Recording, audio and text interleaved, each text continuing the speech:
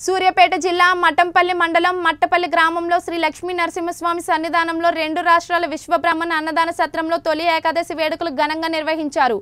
ఈ సందర్భంగా సత్రంలో గాయత్రీమాత పూజ మరియు విశ్వకర్మ వ్రతం నిర్మించారు. ఈ సందర్భంగా వారు మాట్లాడుతూ రానున్న రోజుల్లో మరింతగా సత్రం ముందుకు తీసుకెళ్తామని అన్నారు. అలాగే మా యొక్క సత్రానికి సహకరించిన దాతలకు ధన్యవాదాలు తెలిపారు. అనంతరం మిర్యాలగూడెంకు చెందిన పానుగంటి రామాచారి అన్నదాన కార్యక్రమం చేశారు.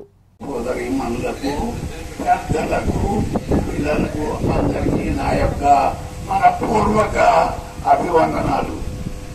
ఏదో అందరూ ఇక్కడ మఠపతి క్షేత్రంలో స్థలాలు ఆక్రమించి సత్రాలు కట్టుకుంటున్నారు అంటే మనది ఒక జాతి ఉంది. సృష్టికర్తలం మనం అనేది మనసులో ఒక ధీమాగా బయలుదేరి ఈ ఇక్కడ దగ్గర కమిటీ వారి దగ్గరికి దేవాలయ కమిటీ దగ్గరికి పోతే ఇంతకు ముందు తంగడి నుంచి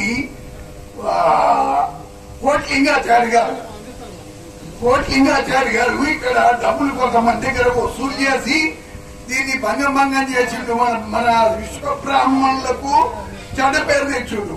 వీళ్ళంతా వచ్చి మిగతా నాయకులు రెడ్లు నాయుడు వీళ్ళంతా ఏ మీ కులమే అడగలుగుతారు సత్వం? అని అవమానాలు ఎన్నో పడ్డాం. సార్ సంవత్సరం లోపల కట్టకపోతే మీ స్థలాన్ని మీకు తిరిగి మీకు అప్పగిస్తా. అని అట్లా ధైర్యంగా గట్టిగా మాట్లాడి ఈ మరి మీరందరూ కూడా ఈ రోజు కూర్చున్నారంటే ఆ విశ్వకర్మ భగవానుడు దయ. మనోహర్ సార్ చెప్పింది కదా ఆ విశ్వకర్మ భగవానుడు దయ. తర్వాత మఠపల్లి స్వా- నరసింహ స్వామి వారి కృప. తెలంగాణ మరియు ఆంధ్రప్రదేశ్ రాష్ట్ర విశ్వ బ్రాహ్మణ సోదరి సోదరులకు నా హృదయపూర్వక నమస్కారాలు. ఈరోజు మన ఈ కార్యక్రమాన్ని మిర్యాలగూడ వాస్తవ్యులు వామిగంటి రామాచారి గారు సహకారంతో ఈరోజు ఏకాదశి కార్యక్రమం సత్రంలో నిర్వహిస్తున్నాము